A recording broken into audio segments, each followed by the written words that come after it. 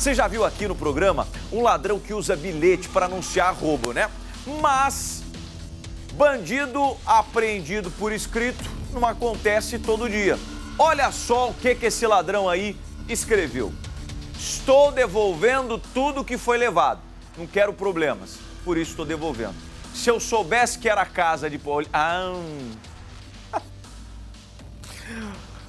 Se eu soubesse que era casa de polícia, não teria entrado, me desculpa. Sou sujeito homem, por isso estou devolvendo. Vocês entenderam o recado? Ah, é ladrão bonzinho. Tava até surpreendendo aqui, o meu amigo Anderson. Ladrão bonzinho, né, vai? Olha, se arrependeu do roubo. Se fosse na sua casa, ele ia escrever esse bilhete?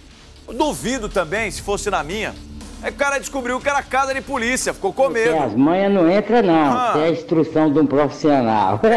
É o que eu tô dizendo, né? Aí ele deixou não só o bilhete, mas relógio, munição, tudo que tinha sido furtado dois dias antes. Imagina só, vem pra mim aqui, Odiá. O cara chega e vai roubar a casa. Aí ele pega, sacola e vai colocando dentro da mochila, põe nas costas, pula e vai embora.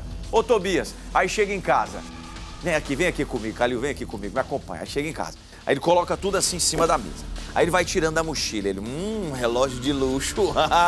Nossa, munição, bicho. Aí já, o cara já começa a, a ficar preocupado. Aí qual que é a próxima coisa que ele pega? O distintivo da polícia. Aí o cara começa a tremer e gela, volta lá e devolve tudo, né? Ele, o policial, eh, chegou a falar que ficou fora de casa por cerca de duas horas e ao voltar encontrou a garagem aberta e um pé de cabra em cima da cama. Depois teve essa surpresa. Suspeito não foi identificado, esse caso aconteceu em Belo Horizonte. Ele deve estar agradecendo, deve estar assistindo o jornal de manhã, ô Tobias, esperando. Ai, vai aparecer a minha matéria. Na hora que eu falei, o suspeito não foi identificado. Ele, ufa, graças a Deus.